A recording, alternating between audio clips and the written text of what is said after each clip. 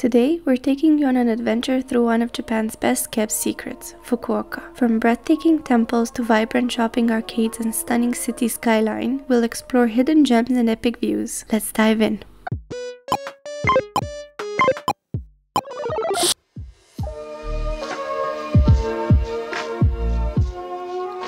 Slight change of plan. Instead of going to Hiroshima, we're going directly to Fukuoka because the train station was so crowded.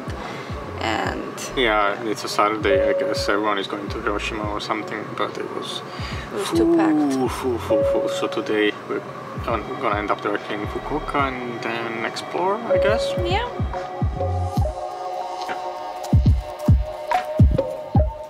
We're finally here in Fukuoka. it's very bright. It smells like sea. And I want some CoCo curry. Coco curry? Okay, I found and a place. rhymes. I found a place. Let's go. Okay, let's go. Our obsession with CoCo curry is too real. Every bowl is the perfect comfort food warm, flavorful, and just the right amount of spice. The sad part? We won't have this once we're back in Austria, and honestly, we're already missing it. We ate our curry and, now we are. in Don Quijote! And I see a lot of figures. Yeah. More to the collection! There is More too to the much. We need, collection! a, need another backpack. Well, we are buying another backpack as well. That's why we're in Don Quijote. I hope they have it.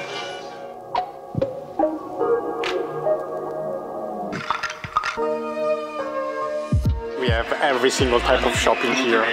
Every section is a different character. I love Kirby! Yeah. Walking into Don Quijote Nakasu was an experience. Imagine being surrounded by floors and floors of random quirky items you have never known you needed. Trying to find another backpack or check, Something. yes, to put all of the stuff that we have purchased. We reached. We really reached the two. I don't know, two additional bags thing. It's honestly like a chaotic Disneyland for adults, overwhelming but so much fun to explore. You can get lost in all of the weird, cool, and sometimes hilarious things they sell. We could have spent hours there just taking it all in and still wouldn't have seen everything. Off to Coco Curry! Again! Third day in a row! Yeah, I mean, we, we're not gonna experience this again, so might as well. Coco Curry!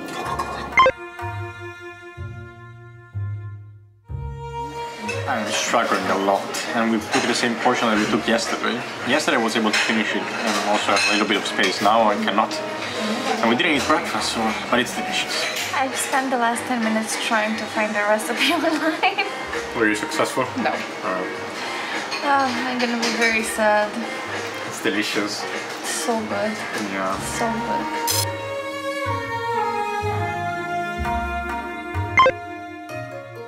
Tochoji Temple was such a hidden gem. At first glance, it seems like a regular temple, but inside is one of Japan's largest seated Buddha statues. The massive wooden Buddha was truly impressive.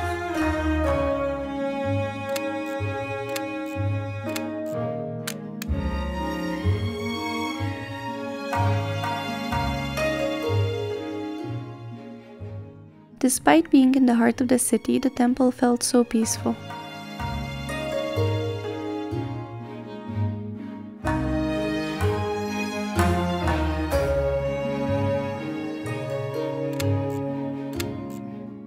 Ah, the wooden Buddha was amazing.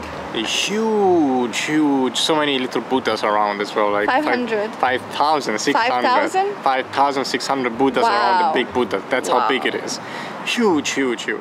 It's surprising where people don't talk about this place.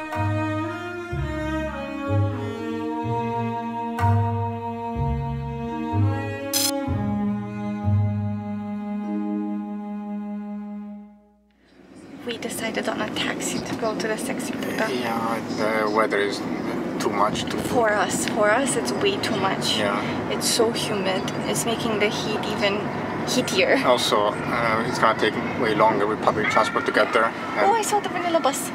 we don't have enough time. yeah, yeah. Yeah. I am tomato-san. Well.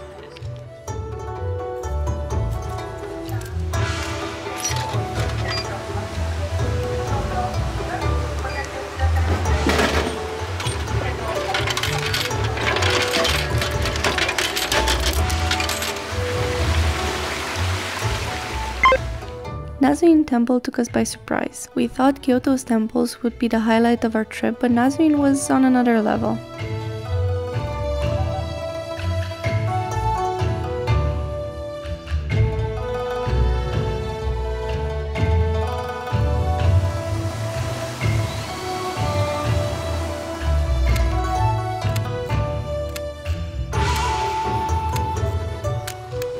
As expected, it is a hike to Also- get to the Buddha. It took us, I don't know, 30, 35 minutes to get here with the taxi. I fell asleep. She fell asleep, I'm falling asleep, and now we're finding the Buddha or somewhere. The Trying big, to. the big, big, sexy Buddha. Maybe it's up there. Ah, let's go. Let's see.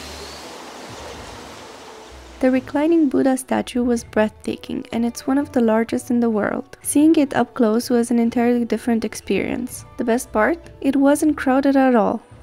Oh my god. It's massive. Look at the size of it. It's like here, and we're just teeny tiny So little big. specks.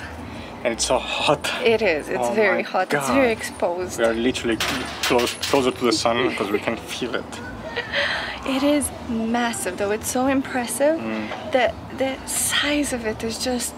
Yeah. I think I read something that is the largest laying Mm. Buddha in the world. I mean, what's the difference between this one and the wooden one?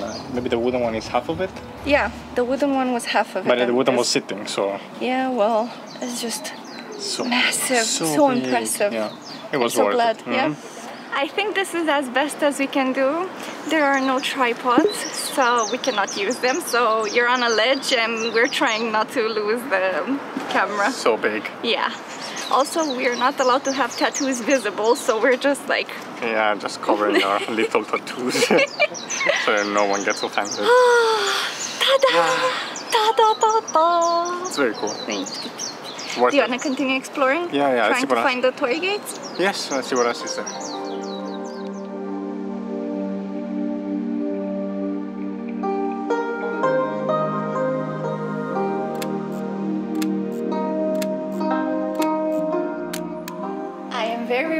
Very we have amulets. Yes, now all our problems will be fixed. We got some good luck amulets, some health amulets, some uh, Uh, wish- harmony. wish come true. Yeah, yeah. Originally located in Mount Koyasan, the temple was moved to its current location near Fukuoka in the late 1800s.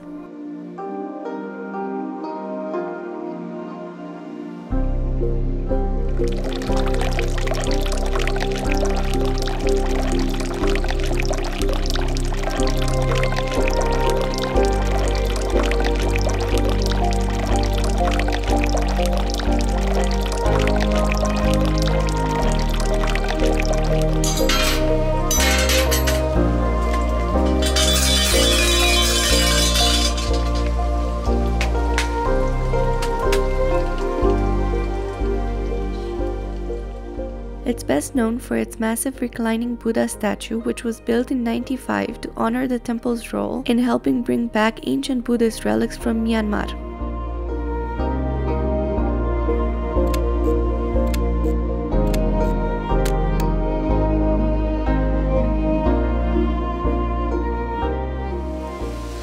Place is much bigger than we actually thought. Yeah, we try to find the exit and we find other side quests. We've been following an old lady that She- has been praying in different spots, so I think she knows what's up, so we're gonna follow the old lady until she shows us the hidden gems of this place.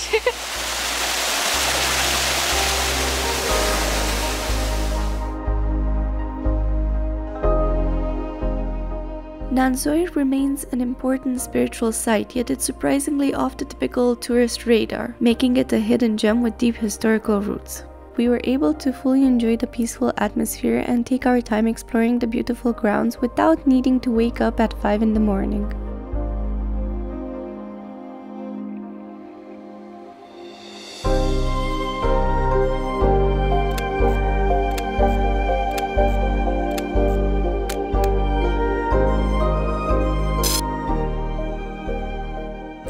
At the train station. we wanted to take a taxi, but apparently it's not an option. No, there is no one here.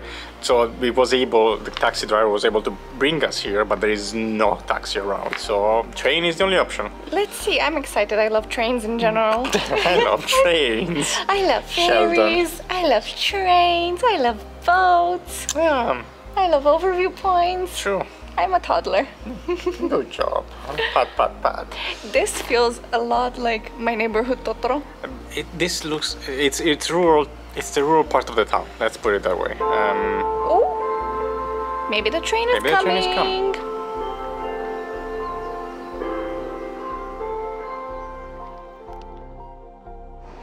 The train looks like an underground. yeah, it's super weird. It's exactly the same style. Well, I'm grateful for the air conditioning. Yes.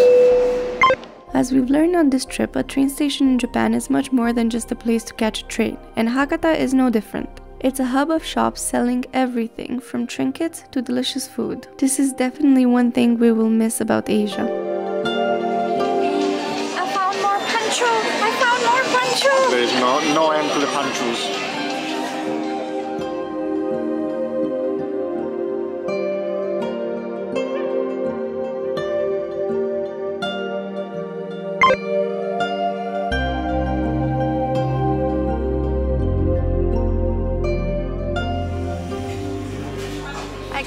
Ichigo, something like a strawberry. Frappuccino, honey. It's a Frappuccino? frappuccino. It's gonna have coffee inside. Oh, that's not good for me. I think so, at least.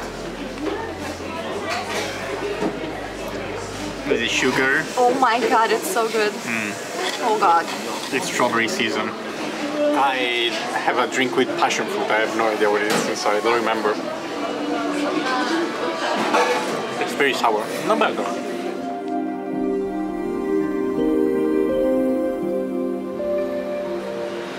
It started raining and it's a very annoying type of rain. You know, the Yeah, small one that yeah. just punctures you every two seconds. Also, we're half destroyed, almost Yeah. fully destroyed, so we're just gonna head home, do some laundry, and And get ready for tomorrow. for because the we ferry. need to wake up probably at 5. Ending the day with the Fukuoka skyline was bittersweet. We could see all of Fukuoka laid out before us, and it was just one of those moments where you realize how special a place is. But at the same time, there's that little bit of sadness knowing it's over. Fukuoka, we'll miss you. From our apartment building, there is a view, which is very nice. So we came to the 13th floor, the Yeah. top floor to see the view. And no tower because hey, you, you see the weather outside. So Uh, so Yeah. it's something. It's something. it's something, it's something, it's better than nothing. And with that, it's a wrap on Japan. Yeah. I guess that's it. And see you in the next one. See you. Sadly, our Japan adventure ends here, but don't worry. We have one last epic adventure in Seoul before we officially say goodbye to our honeymoon. We hope you enjoyed today's video and will stick around for more. Subscribe.